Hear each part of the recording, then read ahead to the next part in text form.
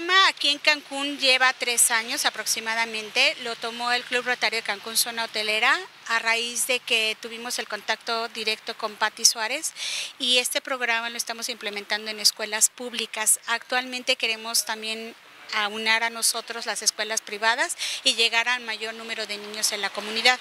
Es un programa preventivo que hacemos eh, desde temprano horarios Primero reunimos a los papás y a los profesores para hablar del tema y después hacemos la visita a las escuelas de primero a tercero y de cuartos a sextos para darles las pláticas y juegos y canciones para que ellos tengan la fijación del programa en campo, de que les hacemos qué, qué deben de hacer en caso de que se quemen, el humo, qué efectos tiene y todo. Este programa ahora tenemos la oportunidad de tener el camioncito museo itinerante por medio de la Universidad del Sur, la Fundación Micho y Mao y por medio de la Secretaría de Salud Estatal, que nos dio la oportunidad de tenerlo aquí por dos semanas.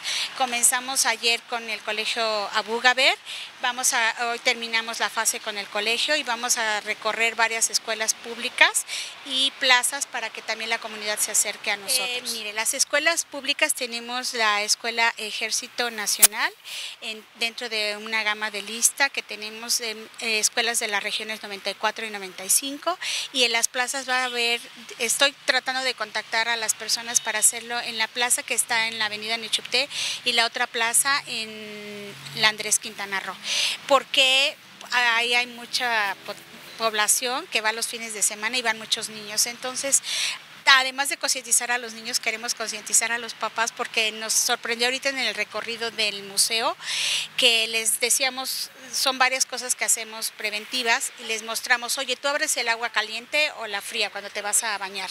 Pues no, yo abro el agua caliente. Entonces, no, debe ser al revés. Los cohetes, los cohetes los, los prenden solos, no van los papás. Yo les pido por favor a los papás, yo creo que nos debemos de dar tiempo para disfrutar con nuestros hijos los cohetes, por ejemplo, siempre hacerlos con un adulto. Otro niño me sorprendió que dijo, yo conecto todo solito y a veces se pueden electrocutar si no es también las instalaciones o las conexiones, ¿no? Entonces ya les dejé de tarea eso a las mises y a los niños y a los papás, ¿no? Por eso también les damos una plática a los papás.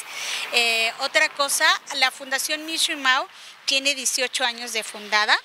Eh, contestando la pregunta anterior, es una organización que créanme que nosotros nos unimos porque los Rotarios nos caracterizamos por ayudar a nuestra comunidad y esta fundación nos abrió las puertas para poderlo hacer. Y qué más hacerlo de forma preventiva y con nuestros niños que son como esponjitas.